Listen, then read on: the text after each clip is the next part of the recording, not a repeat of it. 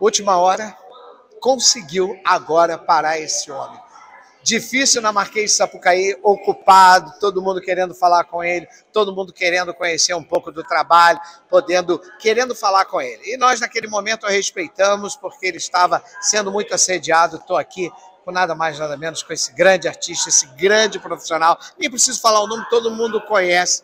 É um cara que a gente tem muito carinho, muito afeto. E ele está hoje aqui no Copacabana Palace sendo homenageado. Irmão, como é que você se sente sendo homenageado aqui hoje no Copacabana Palace, nos 100 anos do hotel, dos 450 anos da cidade do Rio de Janeiro?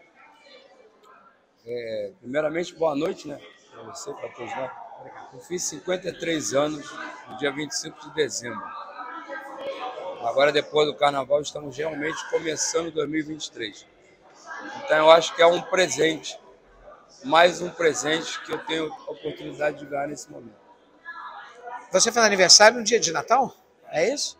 Parabéns, parabéns, bacana. Bom, é, e essa, e essa é, carnaval passou, eu sei que você tem sua escola preferida. Como é que foi saber como se colocar hoje no carnaval? Quais são os preparativos para 24? O que, que você tem em mente preparando para o decorrer desse ano de 23 até chegar o carnaval de 24? Bom, a minha função ela cabe à ala de compositores do Salgueiro, né? cada um construir a sua obra para entrar numa disputa de samba enredo, para que seja escolhido o hino que a gente, para a gente poder entrar na avenida. Mas escolher um samba enredo para entrar na avenida é uma responsabilidade muito grande que cabe ao presidente, a toda a sua diretoria. Não é fácil nem criar e mais difícil ainda é escolher, porque hoje a gente depende do pessoal dos jurados que muitos deles,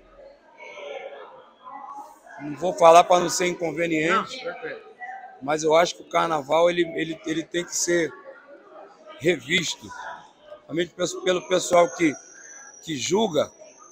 Muita gente, de repente, não entende o que está sendo mostrado naquele momento. Mas reclamar não adianta. É, já né? passou. Já temos a campeã.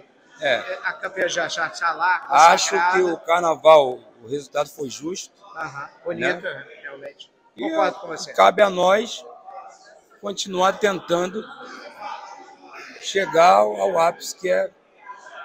Eu entrevistei o André, André Vaz, o presidente, e ele me disse que muitas mudanças vão acontecer, você acompanha na matéria.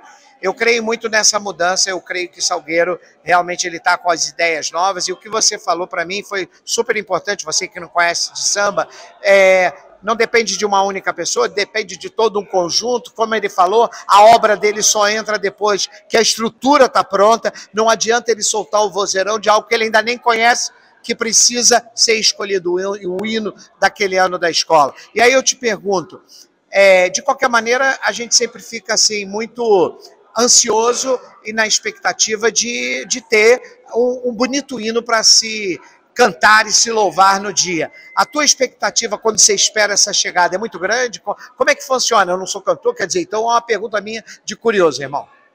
Bom, eu não sou intérprete da escola. A única coisa que eu preciso frisar pela quinta vez eu vou falar.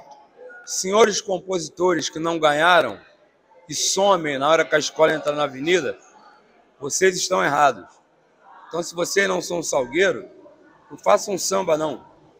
Porque vocês só vão desfilar quando, as, quando vocês ganham samba.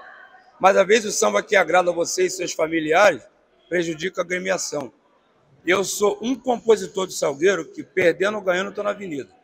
É isso o mais aí. importante é isso. É aí. isso aí. Xande agora falou tudo para mim. Não interessa. Perdendo ou ganhando, veste a camisa, tá Só lá. Para terminar. Termine. Não se ganha samba na quadra. Se é ganha isso. samba quando abre o envelope. Nossa. Falou tudo. Nós, de última hora, não temos que falar mais nada. Só agradecer esse grande artista. Xande, obrigado pelo carinho e energia. Obrigado.